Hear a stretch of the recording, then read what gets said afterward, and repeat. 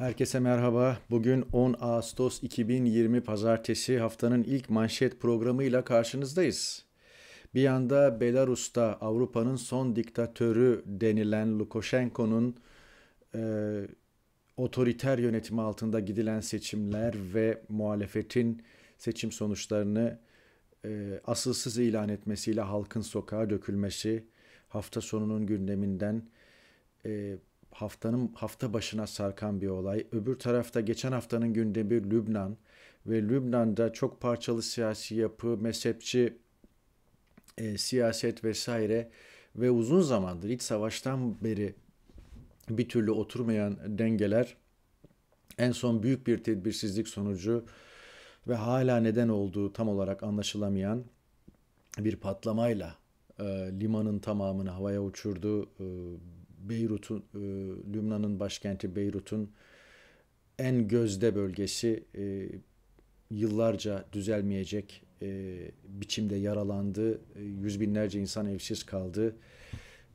200'e yakın insanın 160 civarında insanın da hayatını kaybettiği ifade ediliyor ama e, hala enkazın enkaz kaldırma veya enkazın altında başka ölüler olduğu söyleniyor. Binlerce tabi yaralı var ve Beyrut'un tekrar inşa edilmesi zaman alacak. Elbette istifalar geldi. Bakanlar arka arkaya istifa ediyor siyasi sorumluluğu alarak. Bu Orta Doğu'da çok fazla görülen bir gelenek değil. O açıdan bir Orta Doğu ülkesi olan Lübnan'da sorumluluğu üstlenip istifa eden e, geç bile istifa etseler yani olayın üzerinden e, 5-6 gün geçtikten sonra bile istifa etmiş olsalar önemli, kayda değer. E, maalesef ne Türkiye'de var e, böyle bir gelenek ne Orta Doğu'da başka bir ülkede var. Bunlar e, olumlu hareketler. E, bir de çok enteresan bir şekilde Türkiye'de hep başka siyasal yapılardan veya işte Avrupa'ya öykünerek veya farklı konulara öykünerek istifa istenir veya örnek gösterilir.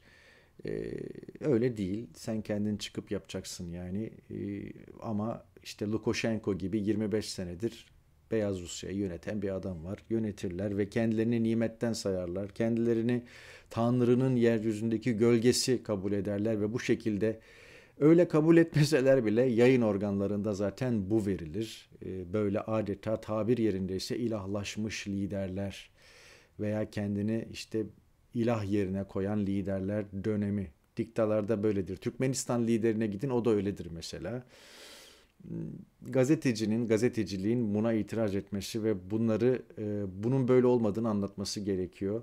Sri Lanka'dan bir haber seyrettim. Geçen dünya televizyonlarından birinde. Dünya televizyonlarının tamamını takip etmeye çalışıyorum. İşte oranın bir başkanı varmış da işte efendim yerine birini atayacakmış da atamayacak mıymış da bakıyorum adam bütün gazetelerin birinci sayfasında falan. ismini de bilmezsiniz, tipini de şimdiye kadar görmemişsinizdir ama Silikane, Silik, e, Sri Lanka'ya gittiğinizde Tanrı'nın yeryüzündeki gölgesi o adamdır. Tırnak içinde söylüyorum tabii bunları. Dünyanın her yerinde böyle adamlar var işte. Yani yüzlercesi var. Hmm, çok az ülkede demokratik idareler, hukuk devleti, e, hakim, seçimler gerçekten halkın iradesiyle yönetimleri belirliyor, yönetimleri değiştiriyor. Çok az ülkede ama geri kalan belki 100 ülkede bu tarz irili ufaklı ülkelerde diktalar, diktatörler var. Haritada bile yerini zor göstereceğiniz ülkelere gittiğinizde bakıyorsunuz orada işte o ülkeyi yönetenler kendilerine bambaşka anlamlar yüklemişler. Belarus böyle. Belarus maalesef böyle. E, olaylar devam ediyor ki mesela şu kare e, Reuters'ın karesi ekrana getireceğim. E, dün çekilmiş bir kare.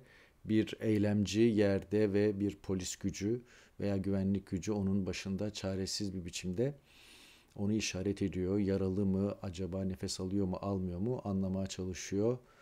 Ee, Lukashenko e, bütün rejim güçleriyle 25 e, yıllık iktidarın ardından bir 5 yıl daha ülkeyi yönetmek için bastırıyor ve bütün muhalefeti eziyor. Zaten içeride binlerce insan var muhalif.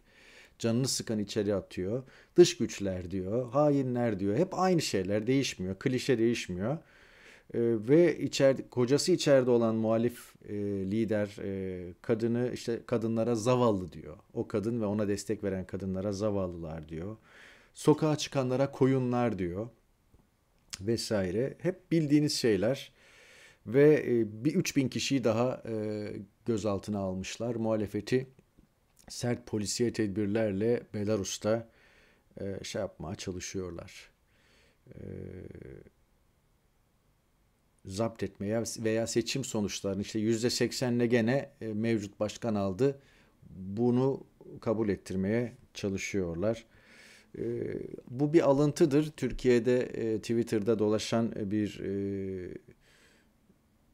Caps işte bu burada dünya liderleri bu fotoğraf doğru. Bir G7 zirvesinde işte efendim şey bütün liderler Trump'a doğru dönmüşler ve işte Merkel'i vesairesi Trump da işte kollarını kavuşturmuş onlara bakıyor falan böyle. Hani onlara isyan eden veya onları kale almayan veya onları kışkırtan bir edayla Türkiye'de buzdolabı satışları artıyor, dünyayı ele geçirecekler, bir şeyler yapmalıyız diye bu liderler fotoğrafının üzerine not düşmüş tweet'i paylaşan esprili. Türkiye'de buzdolabı fiyatı üzerinden bir e, maalesef propaganda yapılıyor. E, ne diyeyim ben? Yani belki de işte bu Aziz Nesin'in tezini haklı çıkaran bir şey ki yani o kitleye oynuyorlar ve o kitle belli ki buzdolabı satışlarının artmış olmasıyla 18 senelik AKP iktidarında buzdolabı satışlarının artmış olmasıyla gidecek gene oyunu AKP'ye oy verecek herhalde bilemiyorum. Ee, buradan yola çıkarak bir analiz yaptım. TR724'te 2020'yi atlatamazlar e, başlığını da attım. Tepki de aldı.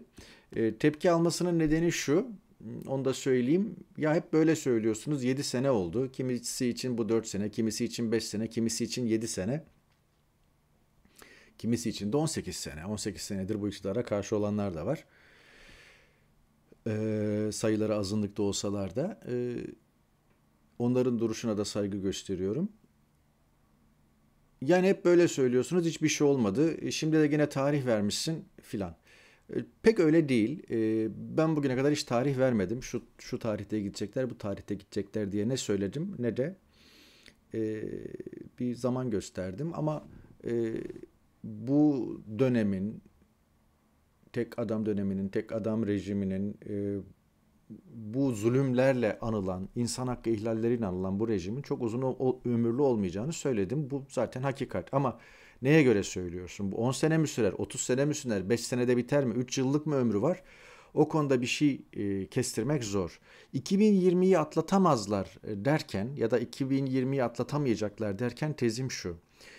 E, mühim olan biraz evvel esprisini de yaptık. Buzdolabı değil e, mühim olan bulaşık e, makinesi, mühim olan çamaşır makinesi sayısı değil. Ki Türkiye zaten buzdolabı üretiminde, çamaşır makinesi, beyaz eşya üretiminde lider ülkelerden biri. Ben İngiltere'de yaşıyorum. Burada Beko markasıyla e, buzdolabı, e, çamaşır makinesi falan görebilirsiniz. Buna da mutlu oluyor. Gördüğümüzde de bununla mutlu oluyoruz. Beyaz eşyada Türkiye e, sektör içerisinde, e, ülkeler içerisinde gerçekten önemli bir noktada. Bu övünülecek bir tarafı. E, bu öteden beri de böyle. E, mühim olan buzdolabı değil, mühim olan o dolabın dolması. E, gelin görün ki taban öyle bakmıyor. E, iktidara geldiğimizde şu kadar buzdolabı satılıyordu, şimdi bu kadar satılıyor. E, sözlerinin belli ki kitlede, tabanda bir karşılığı var. Eğer kitlede bir karşılığı olmasa böyle bir söz söylenmez. Şimdi bakın ben 47 yaşıma geldim. Kendimi bildim bileli bizim evimizde hep buzdolabı oldu. Fakat televizyon yoktu. Komşuya giderdik Türk filmi veya yabancı film seyretmek için. Ee, sonra bir tarihte bir station arabanın arkasında ilk televizyonun eve geldiğini hatırlarım. O da ikinci el kullanılmış bir televizyondu. Siyah beyazdı. Daha sonra renkli televizyon dönemine geçti 80'lerde Türkiye. Ve TRT 2 açıldı. ikinci kanal açıldı. 85-86'lı yıllar.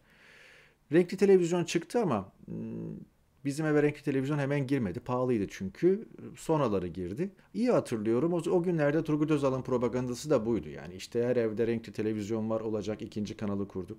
Fakat yani 1985-86 yılında bu Türkiye için tabi dünyadan habersiz bir Türkiye için ilginç bir şeydi veya işte Özal Türkiye'yi dışa açıyordu vesaire hmm, çağ atlatıyordu falan böyle bakılıyordu ama esasen çağa baktığınızda da Onlarca yıldır renkli televizyon batıda vardı ve onlarca yıldır batıdaki televizyonlar çok kanallıydı. ve Türkiye'de 80'lerin ortalarında Türkiye'ye renkli televizyon ve ikinci kanal, üçüncü kanal geldiğinde esasen biz çağı fena halde ıskalamıştık. Anlatabiliyor muyum? Ha bugüne geldiğinizde bugün de durum tamamen aşmış durumda. Bugün de Türkiye'de çok sayıda kanal var. Batıdaki batıda örneği olmayacak derecede bir Almanya'da, bir İtalya'da, bir Fransa'da, bir İngiltere'de bu kadar çok kanal yok. Bu da işin ayrı bir garabeti. Beyaz eşyadan girdik onunla devam edelim. Ben İngiltere'de yaşıyorum ve burada kiralık veya satılık bir evde beyaz eşya standart olur. Yani bir evi kiralasanız, satın alsanız o eve girdiğinizde buzdolabı, çamaşır makinesi, bulaşık makinesi var mı yok mu diye düşünmezsiniz. Çünkü o orada kuruludur. Çoğu, çoğu yani çoğunlukla da ankastre olarak e, kuruludur. E, bunu kopyalamak gerekiyor. Bu güzel bir şey. E, değilse buzdolabı üzerinden siyaset hep devam edecek. Muhalefet e, bu topa girer mi girmez mi bilmiyorum ama bu buzdolabı üzerine e, kafa yormalarında yarar var. Dediğim gibi tabanın aldığı bir mesele e, ve e, bu buzdolabı meselesinde çalışmalılar. Orada şuradan da başlayabilirler. Yani mühim olan buzdolabını doldurmak. Neden e, iktidar 2020'yi atlatamaz diyorum? İktidarın bu yılı atlatması güçleşiyor. Doğru, e, 7 senedir, son 7 senedir özellikle adeta hacı yatmaz gibi tüm olumsuzluklardan yırttılar. Kabul ediyorum. Bu iktidarın yaptığı, ettiği, bu iktidarın e, imza attığı skandallardan herhangi bir tanesi, iki tanesi hükümetleri tartışmasız götürürdü batıdaki bir ülkede. Ve bu iktidar binlercesine imza attı. Bunu da kabul ediyorum. Fakat 2020'nin ikinci yarısı için, şu içinde bulunduğumuz ikinci yarısı için aynı şeyin pek geçerli olmadığını düşünüyorum. Bu seneyi atlatamazlar çünkü. Destek gün geçtikçe eriyor. Ayasofya bile tabanı konsolide edemedi. Türk lirası baş aşağı giderken iki hafta arayla Erdoğan ikinci cumayı da Ayasofya'da kıldı ama o da gerekli hareketlenmeyi getirmedi. Bir diğer konu. Muhalefet de farkında. İktidarın zayıfladığının, iktidarın desteğinin gün geçtikçe eridiğinin ve iktidarın kendi içinde birbirine düştüğünün. Buna birazdan bakacağız. Meral Akşener mesela İyi Parti Genel Başkanı yurt turuna çıktı e, Deva Partisi, Gelecek Partisi, AKP'den e, kopan Ali Babacan ve Ahmet Davutoğlu'nun kurduğu partiler boş durmuyorlar. Dav Davutoğlu Diyarbakır'a gitti. E, Babacan her bulduğu YouTube kanalına çıkıyor, konuşuyor. Cumhuriyet Halk Partisi bir kurultay yaptı ve yönetimdeki Ergenekon darbe soruşturmaları sürecindeki sürecinde eklemlenmiş, Kılıçdaroğlu ve genel merkeze rağmen eklemlenmiş diyebiliriz ki Ergenekon süreci artıklarını veya Avrasyacı artıklarını temizledi partiden. Hem yönetimden hem de e, hem parti yönetiminden hem de vitrinden. E, İlhan Cihaner gibi, Tuncay Özkan gibi. Kasada para bitti. 2020'yi atlatamazlar derken e, bir diğer tezim de o. Libya'dan başka kaynak yok. Onun için her ay birkaç bakan dönüşümlü Libya'ya gidiyor. Milli Savunma Bakanı gidiyor, Ekonomi Bakanı gidiyor, Dışişleri Bakanı gidiyor. Daha yeni Dışişleri Bakanı Libya'daydı. Yani her ay muhakkak bir e, düzenli seyahat e, yapıyorlar Libya'ya. E, bakanlar sürekli orada ve gözleri milli birlik, o Akdeniz filan falan değil, Libya'nın enerjisinde ve elbette parada. Çünkü kaynak yok. Dış destek bitti. Alternatif katkı gelmiyor. Ülkede satacak bir şey de kalmadı. Çökecekleri bazı bankalar olabilir. Çökecekleri bazı holdingler olabilir. iştahlarını kabartan. Onlar da e, bu şeyi kapatacak, bu açığı, e, bu yarayı kapatacak e, düzeyde değil. Ege'de, Suriye'de, Kıbrıs, Doğu Akdeniz e, gibi konularda sürekli gerilim pompalanıyor. Ama bu konularda Türkiye yalnız. Libya'dan başka bir müttefiki yok düşünebiliyor, düşünebiliyor musunuz? Yani Libya'da zaten parçalı. Dünyanın bir tarafı Libya'daki bir yönetimi, dünyanın diğer tarafta Libya'daki diğer yönetimi tanıyor böyle bir nokta e, diplomasi yapamıyor ve Türkiye'nin Türkiye diplomatik tezlerini dünyaya kabul ettiremiyor. 2020'yi atlatamazlar dememin nedeni o. Bu bir kehanet değil, e, realite. Düşük olasılık da olsa, elbette düşük bir olasılıkla bir lütuf yakalayıp 15 Temmuz vari demir yumrukla ülkeyi bir süre daha idare edebilirler. Olabilir bu yani. Fakat bu ihtimali zayıf görüyorum. Ee, esasen bitmiş bir iktidardı AKP 2016 yılına gelindiğinde ve 15 Temmuz bir lütuf oldu. 4 sene daha nefes aldırdı ve bu nefesi koalisyon ortaklarıyla aldırdı esasen. Bahçeli'ye ihtiyaç duyuyordu, e, Avrasyacılara ihtiyaç duyuyordu, ulusalcılara ihtiyaç duyuyordu ve maalesef CHP'ye İyi Parti'ye ihtiyaç duyuyordu ve CHP ve İyi Parti gibi partilerde o desteği verdiler. İçeride ve dışarıda müttefik bulması güç olmadı, zulmü katladı, suçu kesinleşti ve son kullanım süresi doldu. Gidecekler. Dolayısıyla artık Türkiye'nin meselesi artık Erdoğan veya AKP değil, sonrasının nasıl şekilleneceği, nasıl dizayn edileceği ülkenin. Yani yeni Türkiye'nin inşası. Bakalım onu da ömür verdiyse Allah göreceğiz. Bundan emin olabilirsiniz. 2020'yi atlatamazlardan kastım e, buydu. E, bakalım e, şeylerde, gazete kupürlerinde ve elbette e, gündemde neler var? Gündemdeki bir iki e, mühim grafikle başlayıp daha sonra e, gazete kupürlerine geçeceğim. Ekrandan da kendimi alarak. Çok tartışılan bir e, konu. Onun e, grafiği gelsin ekrana. Evet, Hacı Bayram Türkoğlu, AKP Hatay Milletvekili MKYK üyesi.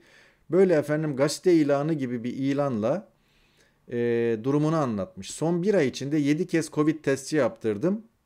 8. testim ne yazık ki pozitif çıktı diye devam ediyor.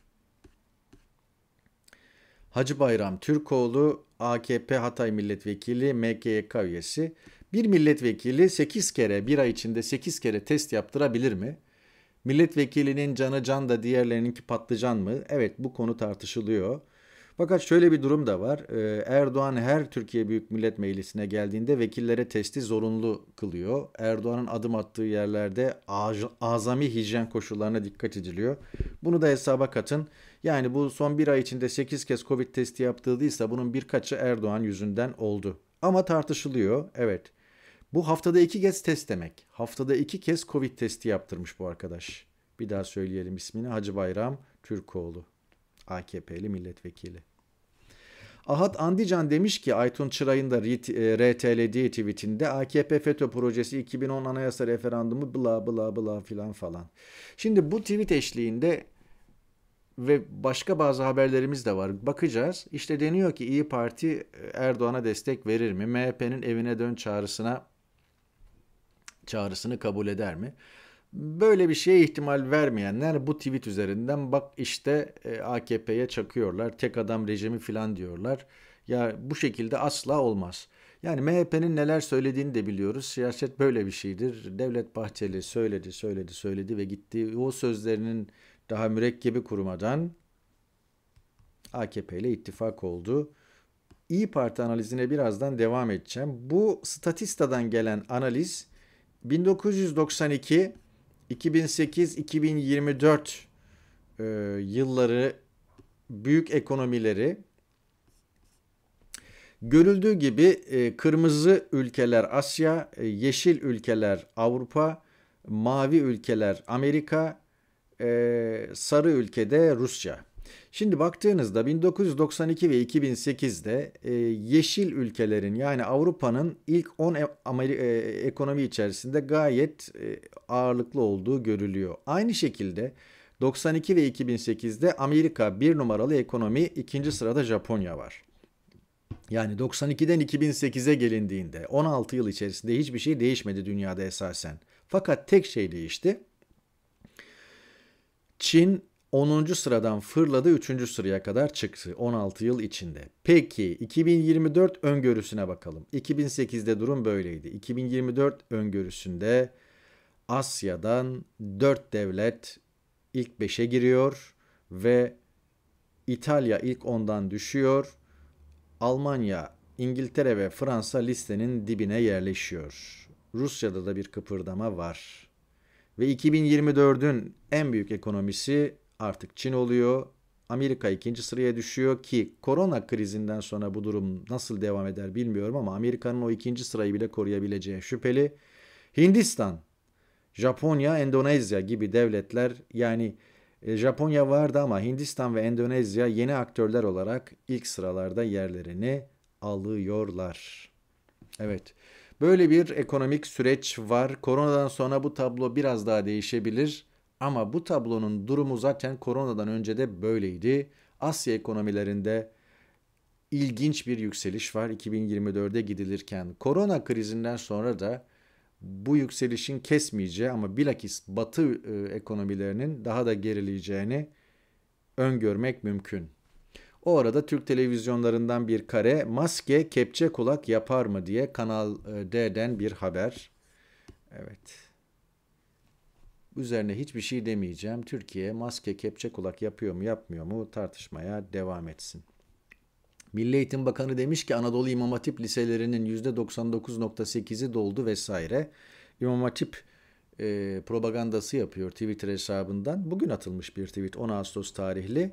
O arada Yusuf Kaplan da diyor ki başörtüsü açma trendi yaygınlaşıyor, alarm zilleri çalıyor. İmam hatiplerde deizm dalgası sanıldığından daha hızlı yayılıyor. Tehlikeli bir süreç.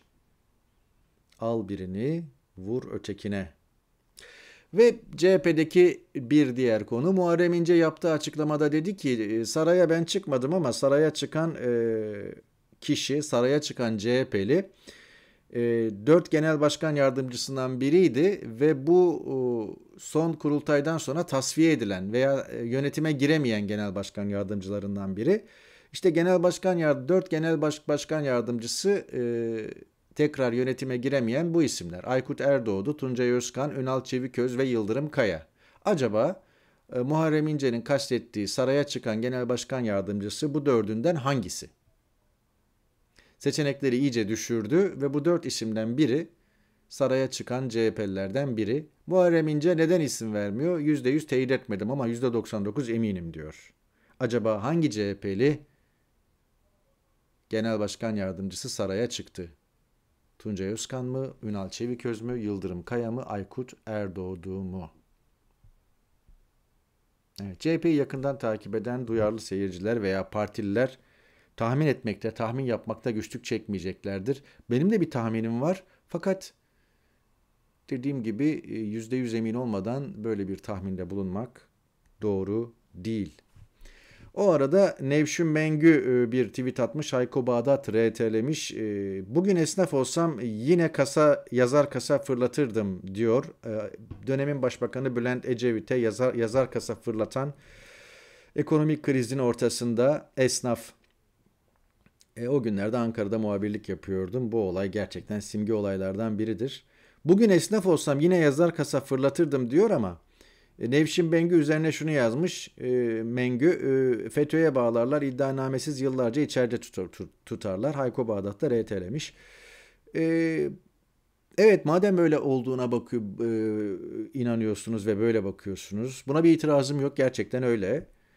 Peki iddianamesiz yıllardır yıllarca içeride tutulanlar ve e, FETÖ'ye bağlanan konular konusunda acaba ne kadar duyarlısınız veya siz de benzer bir sözleme söyleme gerçekten hizmet ediyor musunuz zaman zaman? E, ara sıra da yüzleşmek lazım. Bazen böyle doğru tweetler atıyorlar ama öbür öbür tarafta da iktidarın söylemine alabildiğine destek veriyorlar yazdıkları söyledikleriyle. Gazete kapaklarıyla devam ediyoruz. Mil, Merkez Bankası rezervlerini ve krizin geldiği boyutu mercek altına aldık, aldık diyor Yeni Yaşam. Borç bataklığı demiş. Merkez Bankası'nın 10 Temmuz 2020 verileri altın rezervinin 40.4, brüt döviz rezervinin 49.6 milyar dolar ve toplam Merkez Bankası rezervlerinin 90 milyar dolar olduğunu gösteriyor. Rezervler toplam borç yükümlülükleri çıkarıldığında rezervler toplam borç yükümlülükleri çıkarıldığında 16.7 milyar dolar e, düzeyinde görünüyor. Ancak takas işlemi olan swap ile elde edilen döviz çıkarıldığında Merkez Bankası swap hariç net rezervleri 14.6 milyar dolar yani rezervler eksiye düşmüş durumda diyor e, Yeni Yaşam gazetesi. Orada özür dilerim e, ekrandan gazete kupürünü almak zorunda kaldım çünkü e, bağlantıda bir problem oldu. Onun tekrar bağlanmasını, tekrar gelmesini bekliyorum. Evet.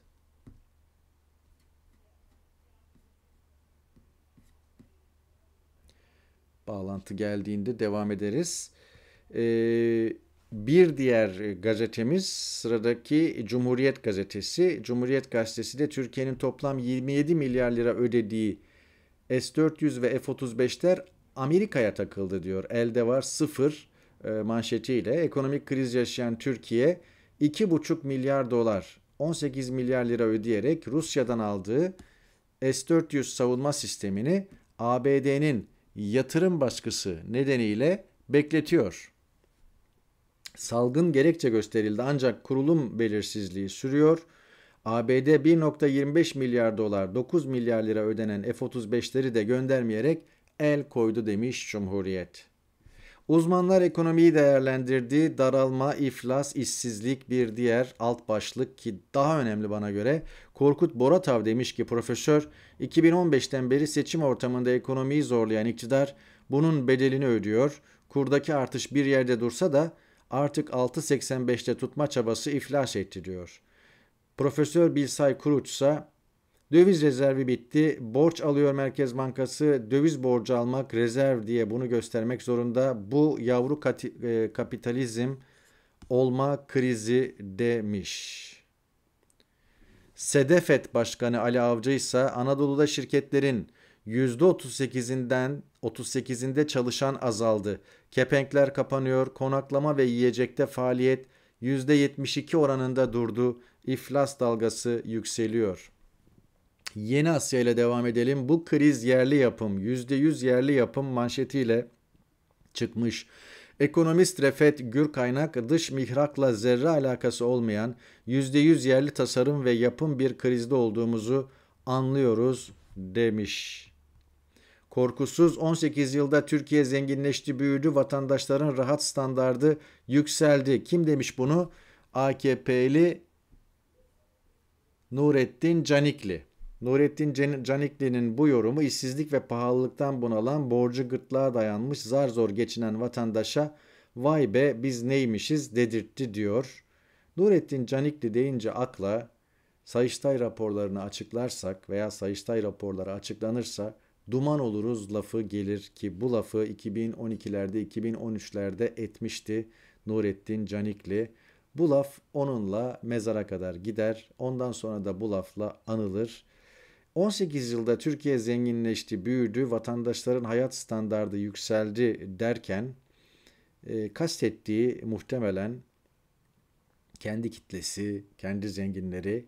Neticede Türkiye'nin geldiği nokta 2002'den 2020'ye dış borç 100, 130 milyardan 472 milyar dolara, benzin 1.48 TL'den 6.39 TL'ye, dolar 1.50'den 7.27'ye, euro 1.66'dan 8.60'a çıkmış durumda. Altına, çeyrek altına da, altını çeyrek altını da siz kıyas edin. Gazete Pencere hastanın boğazını sıkmayın. Profesör Emre Alkin'e göre ekonominin sağlığı için hükümet faizlerle ilgili siyasi angajmanlardan kurtulmak zorunda demiş. Geçen hafta piyasalarda yaşananları kabus diye nitelemiş, çözüm için önerilerini sıralamış, ilk sıraya faiz artışını koymuş Emre Alkin. Turizmde dip yaptı diyor TR724 manşetinden. Geçtiğimiz hafta yaşanan kur şokunun nedenlerini sorguluyor Türkiye. Kurdaki yükselmenin temel sebebi kötü yönetim. Erdoğan'ın faiz takıntısı TL'ye olan talebi düşürdü. AKP rejimi kuru tutmak için Merkez Bankası rezervlerini eritmesiyle eritmesi de hiçbir işe yaramadı e, demiş ve e, geçtiğimiz haftanın analizini yapmış manşetten. O arada Hürriyet ekonomimize güveniyoruz başlığıyla TOP, TİSK, TİM, İTO, ATO, İSTİP ve ASKON'dan e, ekonomi yönetimine destek mesajını getirmiş. Ne yapsınlar? Yani her şeyin farkındalar bunlar da işte bir emirle ekonomimize güveniyoruz diye demeç patlatıyorlar. Berat Albayrak'ın arkasında sıralanıyorlar. Gene Milliyet de öyle manşet atmış. Güçlüyüz, kazanırız. Aynı iş dünyasının temsilcilerini manşete çekmiş. Kararlılıkla hedefe yürüyoruz demiş Erdoğan. Bitmedi bitmedi bu hedefler. Güçlü Türkiye, güçlü devlet falan. Yani bir asır geçti Cumhuriyet ilan edileli hala güçlü Türkiye hedefi devam. Gıdada fiyatlar beyaz eşyayı katladı. Do- buzdolabı dondu ama içi el yakıyor e, demiş e, Karar Gazetesi. E, orada Karar Gazetesi'nden İbrahim Kahveci keşke yanılmış olsaydım e, başlığıyla bir analiz kaleme almış. Orada diyor ki dolara tarihi rekor kırdıran Merkez Bankası rezervlerini eriten gidişata sürecin henüz başında dikkat çeken Kahveci neden sonuç ilişkisine işaret etmiş. Ekonomide yapılanlarla sonrasında olacaklar belli. Beklenen sonuç elbette her zaman gelmiştir ve gelecektir. Aslında çok bilgiden değil sadece adımları takip edince yaşanacakların belli olduğunu yazmıştık diyor. Bir diğer konu uyku faciası. Dinlen dediler dinlenmedi, dinlemedi. Metro gene metro. Hep metro aynı firma sürekli kaza yapıyor ve insanlar ölüyor bu yürüyen tabutlarda. Direksiyon başında iki kez uyuklamış şoför yolcuların dinlen uyarılarını dinlememiş, kulak tıkamış bunlara ve üçüncü uyku faciayı getirmiş. Otogara çok az bir mesafe kala Kuzey, Kuzey Marmara Otoyolu'nda işte kontrolden çıkarak üst geçide çarpıyor. Ee, yani tamamen başka bir aracın karıştığı bir kaza değil, tamamen bir şoför faciası. 5 ölü 25 yaralı. Ölmeyebilirdi bu insanlar ama bu işin ben diğer tarafına da bakıyor, bakıyorum. Yani mesele metro şoförün uyuklaması değil. Mesele bir ülke yoldan çıkmaya görsün, denetim azalır. Bir ülke yoldan çıkmaya görsün, dikkatsizlik azalır. Bir ülke yoldan çıkmaya görsün, kazalarla ölümler artar.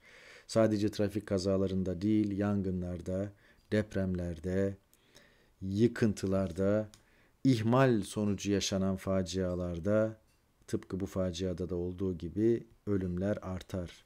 Şoför uyuyor, ölüyoruz demiş Hürriyet manşetinden.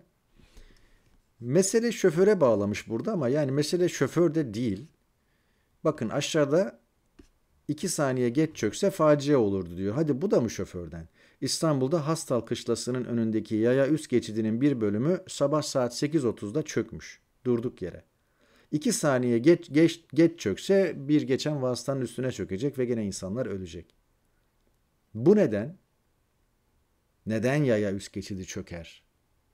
Biraz evvel söylediğim şeyden dolayı. İhmalden, denetimsizlikten, ekonomik krizle bu tür şeyler ıskalanır ve insanlar bu kazalarla ölmeye başlarlar. Evet, şoför uyuyor, ölüyoruz haberi de direkt bununla alakalıdır. Faturayı ne şoföre ne de firmaya keserek bu işten yırtamazsınız. Bu genel bir Türkiye sorunu.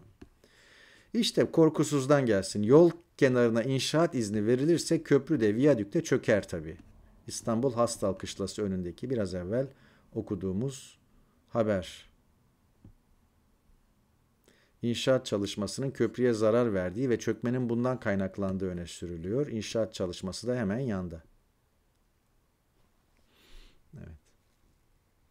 İnsan hayatıyla ilgili konular bunlar. Dediğim gibi denetim, şart ve ihmallerden dolayı neyse ki kimseye bir şey olmadı.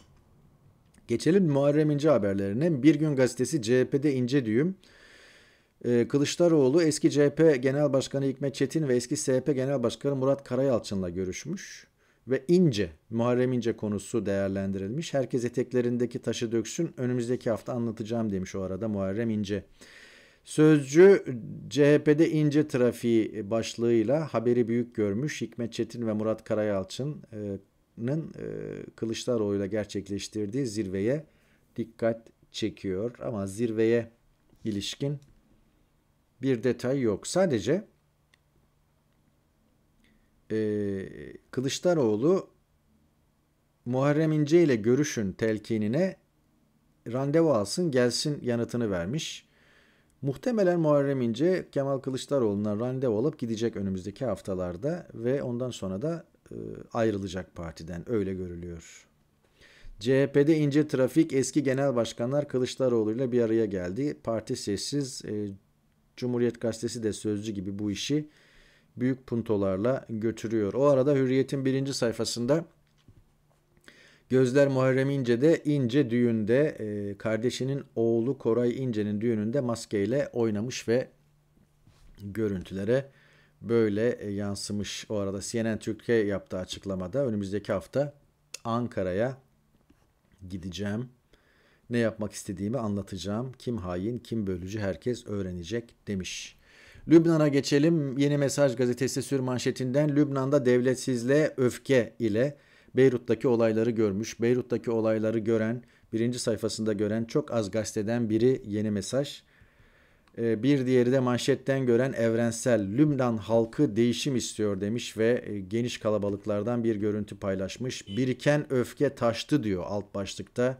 Ard arda istifalardan bahsediyor. Enformasyon e, Bakanı e, istifa etmiş. Vekillerden 5 vekil istifa etmiş ve diğerlerinin de istifa çağrısı, diğerleri için de istifa çağrısı yapılmış. İnfilak eden sistemin kendisi. Karar birinci sayfadan gören gazetelerden biri Beyrut'ta sokak patlaması diyor. 158 kişinin öldüğü patlamadan yönetimi sorumlu tutan halk 4 gün sonra öfke günü protestoları için Şehitler Meydanı'nda toplandı demiş fotoğraf altı haberinde. Halkın taleplerini karşılayamadığımız için özür diliyorum diyerek istifa edense Enformasyon Bakanı Manal Abdül Samet. Evet. Bir diğer haber karar manşet e, biz yapmadık Jack yaptı ki bu İstanbul Sözleşmesi tartışmalarında Misvak e, Gaze e, dergisinin gerçekten akıl almaz bir şeysi ona bakalım. Misvak dergisi bu Facebook sayfası Facebook sayfasında haber duruyor. Her ne kadar gömleğiniz arkadan yırmış, yırtılmış olsa bile Yusuf Bey işte kadının beyanının esas olduğu için e, işte efendim Züleyha Hanım ne derse o. Karikatür bu. Evet. Twitter e, gelen tepkiler üzerine e, bu şeyi kaldırmış, paylaşımı kaldırmış. Ama paylaşımda kastedilen şey şu. Her ne kadar gömleğiniz arkadan yırtılmış olsa bile Yusuf Bey diyerek Kadının beyanı esas olduğu için Züleyha Hanım ne derse o. Burada Hazreti Yusuf'a bir gönderme var. Kıssayı bilenler bilirler. Hazreti Yusuf'un üç gömleğinden bahsedilir. Kur'an-ı Kerim'de bir gömleği e, evlerine sığındığı e, şehir e, valisinin veya şehir yöneticisinin neyse e, karısı, eşi ona göz koyuyor ve e, Hazreti Yusuf'a e, işte diyor ki benimle olur musun falan üzerine yürüyor. Yusuf da e, bakıyor ki iş kötü e, kaçmaya başlıyor.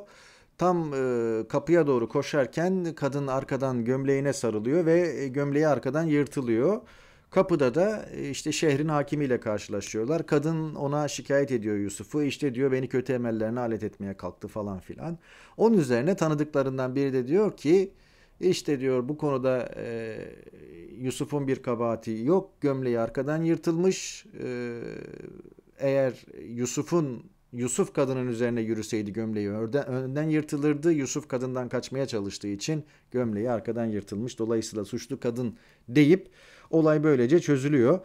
E, kıssası buydu. E, fakat bunu alıp bu derece iğrenç bir biçimde siyasete alet eden bir dergidir Misvak dergisi.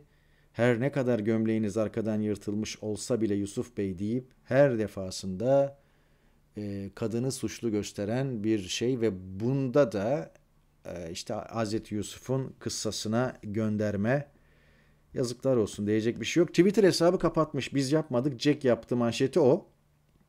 Karar bugün manşetinden e, bunu haber yapmış ve şöyle diyor İstanbul Sözleşmesi tartışmalarına Kur'an-ı Kerim'deki Yusuf kıssasını alet eden Misvak dergisi hesabına Twitter'da tepki yağdı.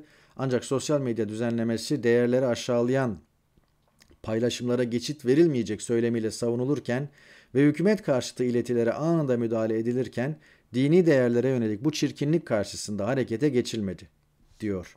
Vatandaşın isyanını devlet kurumları değil Twitter yönetimi duydu ve söz konusu hesaba kısıtlama getirdi demiş. Birin, bir gün manşetinden Bakan Koca'nın kurucusu olduğu Medipol araziye çökmüş bu kaçıncı vaka diyor diye soruyor. Ee, bir yurttaşın okul yapılması şartıyla bağışladığı araziyi Bakan Koca'nın kurucusu olduğu Medipol Hastanesi'nin otopark olarak kullandığı açığa çıkmış efendim. Davutoğlu'ndan açılım çıkışı e, Aydınlık'ın e, birinci sayfasında yer bulmuş. Doğu Perinçek'in Aydınlık'ı Davutoğlu'na diyor ki Davutoğlu partisinin Diyarbakır 1. Olağan Kongresi'nde konuştu. Kayyımları hedef aldı. Ana dil vurgusu yaptı. Demiş ki Davutoğlu eski Türkiye demek her şeyimizin değerinin düşürülmesi, kaybedilmesi demek. Davutoğlu KHK'lar ve kayyımlara son vereceklerini de açıklamış. Kürt meselesini çözümsüzlüğe mahkum ettiler demiş. İnanılır gibi değil. Kendi döneminde 2014-2016 Başbakanlığında Güneydoğu'daki bütün illerde, ilçelerde pek çok diyeyim sokağa çıkma yasağı, insanların ölmesi, cenazelerin sokakta kalması, gömülememesi, derin dondurucularda saklanması ve Taybetana Cizre'de günlerce yaralı halde sokakta yatıyor. Tabii e, bir süre sonra dayanamıyor, vefat ediyor ve çocukları, ailesi onun cenazesini 7-8 gün en az alamıyorlar. Sur yerle bir, Cizre yerle bir, Nusaybin öbürü beriki. O dönemin başbakanı Ahmet Davutoğlu şimdi efendim Diyarbakır'da Kürt meselesini çözümsüzlüğe mahkum ettiler demiş. Bir diğer konu da kayyım ve KYK'lara son verecekmiş. Kendi döneminde kayyım hadisesi icat olduğu ve kendi başbakanlığının ilk senesinin sonunda 28-26 Ekim'de Koza İpek grubuna kayyım atandı. Bizim de içinde bulunduğumuz medya grubuna çöküldü. Kayyım meselesini icat eden de Ahmet Davutoğlu hükümetiydi. Çok tuhaf, evet. İnsan e, gerçekten bu, bu haberleri okuyunca gerçekten kendini tutması zor. Yani üzerinden birkaç sene geçmiş hadiseler bunlar. O arada mahalle karıştı sevgili seyirciler. Yüzsüzlük başlığı Dilipak için atılmış Akşam Gazetesi'nde. İktidarın Akşam Gazetesi Abdurrahman, Abdurrahman Dilipak'ı hedef tahtasına koymuş. Fahişe sövgüsü için özür dilemek yerine konuyu İstanbul Sözleşmesi tartışmalarına yönlendirmeye çalıştı diyor. Birbirlerine fena halde girmiş durumdalar. İktidarın bir kanadı e, İstanbul Sözleşmesi'ne bir şey demiyor ama e, dinci kanat diyeyim ya da İslamcı kanat Akit Gazetesi vesaire gibi e, Dilipak üzerinden e, hakaretler e, savuruyor. O arada şu da olmuş. E, İlhan Tanır paylaşmış. E, Pelikan lideri Süheyb Öğbün Öğüt'ün kardeşi Selman Öğüt'ün ya da Öğübün bilemiyorum soyadını doğru mu yanlış mı yanlış mı yanlış ben Öğüt diye hatırlıyorum. Neyse Dilipak'a ağır girmesi sonrası Dilipak'ın oğlu da dönüp Selman'a yüklenmiş. Durum öyle böyle değil. Diğer taraftan Şafak yazarı, Yeni Şafak yazarı Ayşe Böğürler kafa patlatan Sofuoğlu'na yank etmiş filan falan ortalık toz duman diyor. Evet yani gerçekten iktidar birbirine girmiş durumda. Ee, bir de işin böyle bir e, tarafı var. Daha birbirlerini yiyecekler bu hadiseler. Öncü şoklar söyleyeyim. 2020'yi atlatamayacaklar derken biraz da bunu kastediyoruz. Sağlıkçılar değil Bill Gates tarih verdi. Covid-19 tüm dünyanın kabusu olmaya devam ederken koronavirüs ve aşının tarihi hakkında sağlıkçılar değil de Bill Gates bilgi verdi diyor. Doğru Haber'in e, Doğru Haber gazetesinden getirdim bu kupürü. Zengin ülkeler için salgın 2021 sonunda, dünyanın geri kalanı için yani fakirler için de 2022 sonunda biteceğini tahmin etmiş. Muhtemelen aşı bulunacak ve zengin ülkeler aşılanacak ama 2020'de kayıp diyor. 2020 sonuna kadar da dünyanın geri kalanı çekmeye devam edecek diyor yeni kehanetinde. Sözcü manşetinde muhalefet mecliste boşa kürek çekti. 2962 yasa teklifi verdiler. Hiçbiri gündeme alınmadı demiş. Ne olacaktı? 4 senedir aynı şeyi söylüyorum. Ee, oyundalar. Oyundan çıkmaları gerekiyor. Biz bu oyunda yokuz dememeleri demeleri gerekiyor ama maalesef hala muhalefet iktidarın yaptığı her şeyi meşrulaştırıyor. Değişim iki pedalda bisikletlerin sadece parklarda gezinmek için var olmadığını, ulaşım için en sağlıklı, ekonomik, en mutluluk verici araç olduğunu anlatarak insanları bisiklet edinmeye özendirebiliriz demiş. Bir günden okuyorum. Ülkemizin bisiklet ülkesi olması mümkün. Yeter ki örgütlü olalım. Değişim iki pedalda diyor bir gün gazetesi. Katılıyorum, yüzde yüz destekliyorum e, bu konuyu. E, çünkü gerçekten madem bu korona günleri, madem bu ulaşımda işte yapılacak edilecek şeyler ve e, ne derler e, yeni dünya düzeni, dünya eskisi gibi olmayacak falan diyoruz. Bisikletli yaşam olmalı. Fırsat bu fırsat teşvik edilmeli, bisiklet yolları açılmalı ve insanlar kısa mesafede mutlaka bisiklet kullanmalılar. Sadece bahçelerde gezmek, hafta sonlarında dolaşmak için değil, günlük hayatlarının bir parçası yapmalılar. Burada yapmadığım hiçbir şeyi söylemiyorum. Sen yaptın mı? Evet yaptım. Bakın size bu fotoğraf e, Londra'dan e, birkaç sene evvel e, çektiğim bu fotoğrafı paylaşayım. Bisiklet e, kaskıyla e, Big Ben'in önünde Londra'nın meşhur büyük saat kulesinin önünde ki şu anda o saat kulesi maalesef tamamen e, restore ediliyor ve e, yaklaşık 3 yıldır etrafı kapatılmış durumda. E, korona günlerinden dolayı vaktinde açılır mı bilmiyorum ama zaman alacaktır. 3 yani Londra'ya gelir gelmez e, ilk yaptığım işlerden biri birinci ay ikinci ayda bir bisiklet almak oldu ve e, emin olun Londra'da toplu taşımdan da toplu taşımdan daha çok bisikleti kullandım. Her yere bisikletle gittim, markete bisikletle gittim, ofislere bisikletle gittim ve Londra'nın kuzeyinden güneyine, doğusundan batısına bisikletle dolaşmadığım yeri kalmadı. Arabayla göremediğiniz veya toplu taşımda göremediğiniz her şeyi görebilirsiniz. Parkların içinden geçersiniz, sitelerin içinden geçersiniz, çarşıların içinden geçersiniz, mezarlıkların içinden geçersiniz. Bisiklet rotaları o kadar esnektir ki sizi her yerden nehir kenarlarından geçersiniz. Arabaların girmediği yerden, giremeyeceği yerlerden, toplu taşımın olamayacağı, e, olamayacağı yerlerden geçersiniz. Günde en az 25-30 kilometre, en az 25-30 kilometre bisikletle pedal çeviriyordum ve bu bana çok iyi geliyordu. E, hala da e, eski yoğunlukta olmasa da e, bunu sürdürüyorum. Fırsat buldukça herkese de öneriyorum. Fırsat bu fırsat birer bisiklet edinin ve en azından küçük tefek işlerinizi e, bunun yap, bununla yapmaya çalışın. Ve biz de bununla e, bugün manşeti e, noktalayalım isterseniz. E, Belarus'la başladık. Lübnan'la devam ettik. Türkiye, ekonomi, korona,